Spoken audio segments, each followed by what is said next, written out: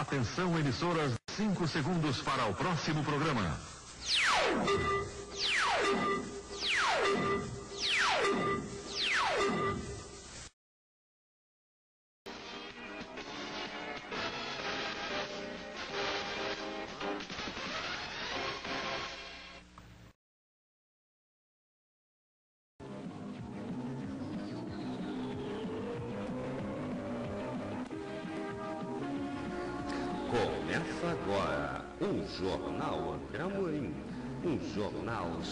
De notícias até o fim. No comando André Amorim.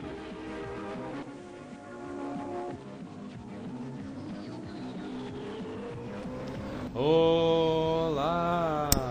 Muito bom dia, boa tarde, boa noite.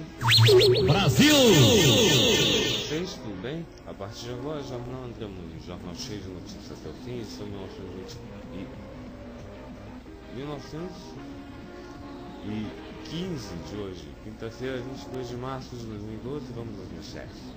Aposentados, INSS tende a apresentar cálculos da revisão. Doentes pagam o preço da farra nos contratos públicos. O hospital adia cirurgias e dá até cobertor sujo e rasgado.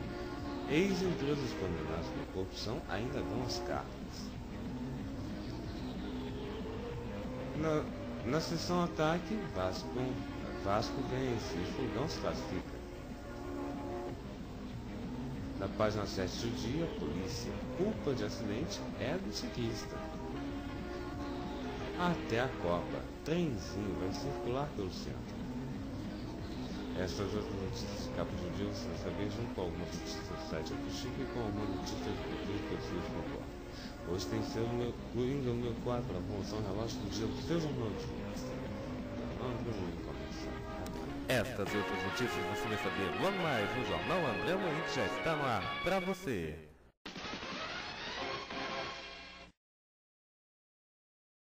Compre o Jornal Dia, como o Rio gosta de ler. Os preços do Jornal Dia são de segunda a sábado, vinte centavos. Isso mesmo, um real e vinte centavos. No domingo, o Jornal Dia custa o dobro, dois reais e quarenta centavos. Isso mesmo, dois reais e quarenta centavos. E o site de O Dia Online, www.udia.com.br. Repetindo, www.udia.com.br. Morreu de ditadura.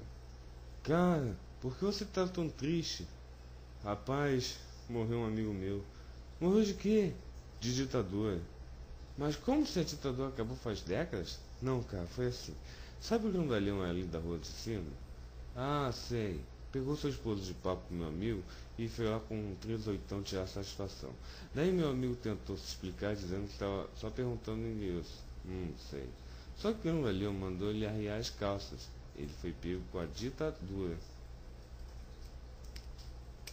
As notícias, por favor.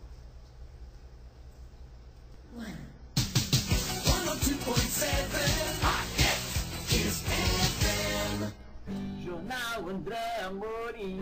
Oi, oi, oi, oi. Jornal cheio de notícias até o fim. Aê! E agora, no Jornal André Amorim, a notícia mais quente do dia. Doentes pagam o preço da farra nos, nos contratos públicos. O hospital adia cirurgias e dá até cobertor sujo e rasgado. Ex-empresas de condenados por corrupção ainda dão as cartas. Já estou acordado! Autoridades se mostram surpresas com bandalheira nas licitações, mas mesmo surpresas cujos donos já foram condenados na justiça continuam ganhando contratos milionários na saúde. A auditoria revela sujeirada no hospital servidores do Estado. A empresário que comandou a fraude passou firma para o nome dos filhos, ou nomes dos filhos. Quatro empresas de lavanderia levaram mais 69 milhões de reais depois de esquemão. Detalhes nas páginas 4 e 5 do seu jornal do dia. Aposentados, INSS tende a apresentar cálculos da revisão. Justiça do Rio obriga a Providência a demonstrar como chega ao benefício. Decisão inédita vai acelerar ações para correção de valor. No caderno Automania, J5 é mais barato que rivais e tem vários itens de série. J5, para quem não sabe, é da Jack Motors. É. Na página 6 da seção Rio de Janeiro, mulher que morreu de dengue teve alta de unidade municipal onde era enfermeira. Na página 33 na seção Saúde, governo manda suspender a venda de todas as próteses de silicone no país. Na página 51, na seção de AD, em fim estampa, Baltazar trabalhará com homossexuais. Nas páginas 30 e 31, até a Copa, trenzinho vai circular pelo centro. Veículo leve sobre trilhos passará pelo Rio, pela Rio Branco, mudando a paisagem da região. Na página 7, polícia. Acidente de, culpa de acidente é do ciclista. Depoimentos de cinco testemunhas na 61ª Delegacia Policial em Xerém confirmam a versão de Thor Batista de que ciclista cruzava o rodovia Washington Luiz quando foi atingido por carro dirigido pelo jovem. Veículo terá nova perícia. Nas páginas 36 e 37 na seção ataque, Vasco vence e Fogão se classifica. Cruz Maltino de Juninho bate Libertar do Paraguai por 2 a 0 em São Januário. Alvinegro vence 13 da Paraíba nos pênaltis é, no Engenhão e avança na Copa do Brasil. O Botafogo até a, até, até a terceira cobrança é, tinha feito os três gols, né? Não tinha perdido nenhum. E o 13 já tinha perdido um gol, né? Mas na quarta e na quinta cobranças de cada uma ou de cada equipe, todos erraram. Todos erraram. Teve lance em que o goleiro agarrou, teve lance em que é, a bola bateu na trave e foi para fora. É, teve lance em que o goleiro defendeu. E teve lance em que o jogador do 13 é, tentou chutar a bola, mas a, acho que acabou chutando a grama e a bola é, veio devagarinho. Ah, aí o goleiro. Aí a bola ia pro gol, mas o goleiro foi mais rápido e espalmou, garantindo a, garantindo a vitória do Botafogo sobre o 13 da Paraíba nos pênaltis. Sim, porque no jogo normal deu 1 a 1 é, semana passada e deu 1 a 1 é, é, ontem, quarta-feira. Né? E, e nos pênaltis deu 3 a 2 para o Botafogo. E agora, as notícias do site protejasseus Espanha. Novas gerações rejeitam dogmas católicos. Espanha. O fim da hegemonia católica está aqui. A Espanha secular em breve será criada. Até agora, o catolicismo nacional, as práticas ditatoriais de controle pelos bispos espanhóis, a interferência na educação, na moralidade, na vida dos espanhóis, em todas as dimensões, sim indicar que a Inquisição Católica continua em pleno século XXI. A intolerância e a intransigência, o casamento com, as, com os grandes capitais fascistas e com as oligarquias tradicionais têm garantido o poder da curia católica na Espanha. Os ataques dos cardeais do silêncio barulhento, os bispos, colocam em dúvida o sistema democrático. O catolicismo na Espanha é um sistema de manipulação e totalitarismo e doutrinário. Mas a boa notícia é que tudo está sendo, tudo está sendo executado. As gerações mais jovens da Espanha rejeitam a raiz da imposição e dogmas católicos e rejeitam a escravidão de suas doutrinas, buscando a verdadeira liberdade. Há milhares de espanhóis perguntando como denunciar os acordos com o Vaticano e assim terminar o seu poder e, e capacidade de interferir na vida de todos que vivem neste país. Tributados, que paguem impostos, que se acabem os privilégios. O secularismo chegou à Espanha e chegou para ficar, segundo o site sainoticias.com. Aliás, PIS Notícias, PYS Notícias.com, PYS Notícias.com, ok? É isso aí. Ordem Católica e irmãos cristãos abusaram sexualmente de menores durante 40 anos. Canadá. A Igreja Católica no Canadá não está livre de escândalos de abuso sexual. O mundo se lembra bem de um dos maiores escândalos de abuso sexual do Canadá no orfanato Mount Cashel, onde os irmãos cristãos abusaram de crianças por mais de 40 anos e mesmo em 2011 ainda não acabou de pagar as vítimas. O orfanato Mount Cashel foi localizado na cidade de St. John, na, na província de Newfoundland e Labrador, na costa leste do Canadá. Em 1898, a Igreja Católica Canadense, através do arcebispo Michael Francis Hall, doou terras para a congregação chamada Irmãos Cristãos da Holanda, no Canadá, CBIC, por seu signo em inglês. Sim, a Ordem Católica, mesmo responsável pelas descobertas de terror na Irlanda, pela Comissão Ryan, que publicou um relatório em 2009 provando abuso sexual, tortura, crueldade e violência contra, mais de, contra as mais de 25 mil crianças em orfanatos, escolas e reforma de escolas residenciais, Irlanda para esses homens supostamente cristão, cristãos. A comissão detalhada dos abusos cometidos pela ordem dos irmãos cristãos, Christian Brothers, eram sistemáticos e informa que todos os sacerdotes estavam envolvidos, porque não interviram, não inter, ou não, não interviram, não, não interviaram, né? Ou relataram o abuso e maus tratos que muitas crianças testemunharam. Agora o mundo desperta é, é, como a ordem católica implementa o mesmo em vários países, incluindo o Canadá. Os irmãos cristãos, ao receber as terras da Igreja Católica no Canadá, começou a construção do que se tornou um orfanato. Foi em 1917 para que foi em 1917 que as instalações estavam prontas, e nesse mesmo ano começaram as operações de orfanato Mount Cashel para meninos, os primeiros órfãos atendidos foram os meninos de Newfoundland e Labrador, mas depois começou a receber crianças de outras províncias do Canadá. Desde seu início até 1949, o orfanato é administrado pelos irmãos cristãos e o governo provincial de Newfoundland e Labrador. De 1950 até o encerramento de suas operações, o orfanato foi administrado som somente pelos irmãos cristãos. Em dezembro de 1975, a polícia Royal Newfoundland Constabulary RNC, ou RNC, lançou uma investigação por abuso sexual e abuso físico perpetrado no Mount Cashel Orfanato. Como resultado desta pesquisa, cinco membros dos Irmãos Cristãos foram acusados por 20 jovens. Embora o inquérito foi sabotado e acabou é, suspenso por instruções do Ministério da Justiça, constatou-se que pelo menos dois irmãos cristãos admitiram ter cometido aberrações sexuais. Não houve mais perguntas residentes do orfanato e e dos dois irmãos cristãos condenados foram postos em centros de reabilitação e mais tarde mudou-se para outras instituições também dirigidas pelos irmãos cristãos do Canadá. Em 1982, o RNC, polícia, realizou uma segunda investigação no orfanato Mount Cashel, investigado por crimes semelhantes em 1975. Desta vez emitiu 13 relatórios sobre o caso, nove escritos pelo Departamento de Serviço Social e quatro pela polícia.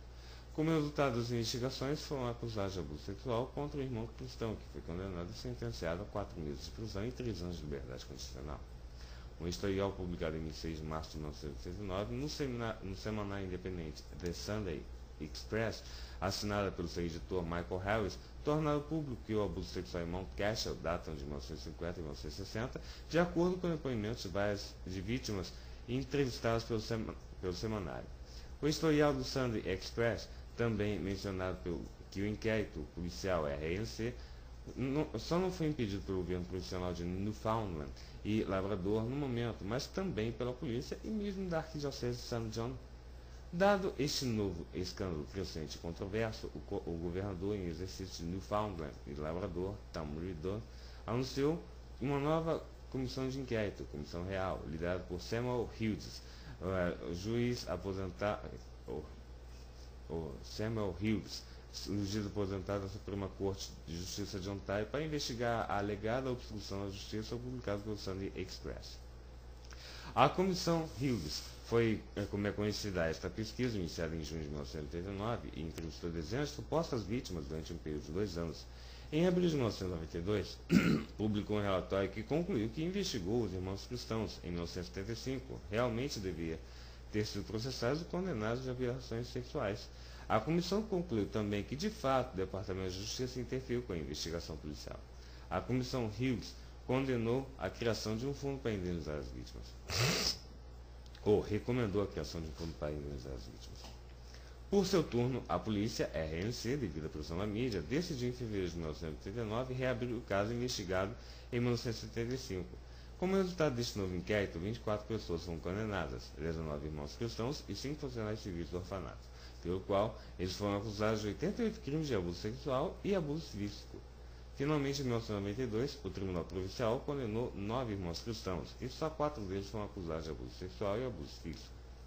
Em 1997, o governo profissional de Newfoundland e Labrador, em resposta ao relatório da Comissão Hughes e devido à pressão de dezenas de ações civis por vítimas de Mount Cashel, reconheceu sua, sua responsabilidade no processo e pagou a soma de 11,25 milhões de dólares a 40 vítimas do caso da montagem Orfanato Cashel. Posteriormente, o governo procurou recuperar o dinheiro através da venda das propriedades dos irmãos cristãos. Em 1989, Shane Earl, uma das vítimas de abuso sexual por irmãos cristãos, entrou com uma ação civil indenizatória contra o governo da província de Newfoundland e contra a Arquidiocese de St. John. Naquele ano, o Tribunal Provincial decidiu em favor do autor e condenou a pagar 18 milhões de reais para as nove vítimas, incluídas na ação movida por Shane Earl. Os canadenses nunca imaginaram as dimensões do presente processo doloroso e sombrio até 1989, quando os irmãos cristãos decidiram fechar o orfanato. Em 5 de abril de 2002, os irmãos cristãos da Irlanda, no Canadá, CBIC, publicou uma declaração no qual pediu perdão às vítimas do Mount Cashel Orfanato. O caso do Mount Cashel Orfanato é o maior escândalo de abuso sexual no Canadá e um dos maiores do mundo em, é, que esteve envolvido o Vaticano e a Igreja Católica. Em 1990, após o fechamento do orfanato, os terrenos e edifícios foram confiscados e leiloados para angariar recursos financeiros para oferecer uma compensação financeira às vítimas, ordenada pelo Tribunal da Relação de Newfoundland e Labrador. Em dezembro de 2000, o jornal Star Phoenix publicou um artigo que menciona que estava ciente o Vaticano, a fim de escapar ao Supremo Tribunal de compensar as vítimas do orfanato. Ele tentou mudar os títulos de propriedades em nome dos irmãos cristãos da Irlanda, no Canadá, CBC, e transferi-los para nomes de outras congregações dos irmãos cristãos fora do Canadá. O artigo Star Phoenix também argumenta em seu relatório que a Arquidiocese de Vancouver recorreu a todos os tipos de manobra para proteger a Universidade de Vancouver e a Universidade de Thomas More, ambas de propriedade dos irmãos cristãos da Irlanda no Canadá, CBC, para que eles não fossem apreendidos e liquidados a pagar indenização ordenados pelo Tribunal de Justiça. Entre 1996 e 2004, as indenizações pagas a 140 vítimas sobreviventes ao escândalo do Mount Cashel somaram 56,25 bilhões de dólares, de dólares americanos. Né? Apesar de ter compensado 140 vítimas, a pesquisa mostra que 300 moradores do orfanato foram sistematicamente violados pelos irmãos cristãos de várias décadas. Em setembro de 2009, o bispo católico Raymond Leahy, ou Leahy foi preso no aeroporto de Ottawa, Ontário, Canadá, onde chegava à sua casa após uma viagem, uma viagem ao exterior. O motivo de sua detenção pela Polícia Montada do Canadá, RCMP, por sua sigla em inglês, foi porque encontrou muita pornografia infantil em seu laptop. Vale ressaltar que o bispo Lerrey foi um dos clérigos católicos acusados de pedofilia no início dos anos 80 no caso sombrio do orfanato Mount Cashel. E agora, as notícias do site O Fuxico. Cláudia Raia vai à premiação com o namorado. Casal não fez cerimônia e ficou o tempo todo coladinho. Na noite desta terça-feira, Cláudia Raia não se portou com os flechas e deu aquele beijo em seu namorado Jarbas Homem de Melo, durante a apresentação do 24º Prêmio Shell em São Paulo. A atriz ficou casada há 17 anos com seu celular e sofreu bastante com a separação. E agora, a última do Jornal André Amorim. E a última do Jornal André Amorim, jornal cheio de notícias até o fim, mulher melão desfila com um carrão pelo Rio de Janeiro. A cantora ainda fez caso bocas ao, ao perceber o paparazzo. Na tarde desta quarta-feira, dia 21, ou ontem, né, Mulher Milão chamou a atenção durante o passeio pela praia da Barra da Tijuca, no Rio de Janeiro. Além de suas curvas já bastante conhecidas, a dançarina e a cantora, a dançarina cantora, quer dizer, estava a bordo de um carrão. O automóvel que Mulher Melão desfilou é um iX35 da Hyundai que custa aproximadamente 80 mil reais. Antes de entrar no carro, ao perceber que estava sendo fotografada, a cantora ainda fez caso e bocas para as câmeras. Muito obrigado pela companhia e pela audiência, Jornal Amanhã fica por aqui. Fiquei para vocês, um forte abraço e até amanhã se vocês quiserem. Tchau, pessoal. A gente se vê por aqui. Melhor dia da tua vida, melhor dia da tua vida. A gente está contigo. Assim é. Papai.